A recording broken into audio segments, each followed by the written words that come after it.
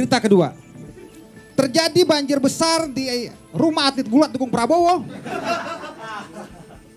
Bukan karena hujan deras, bukan karena curah hujan yang tinggi, tapi karena komplotan negro suka warna pink kencing bareng-bareng, Pak.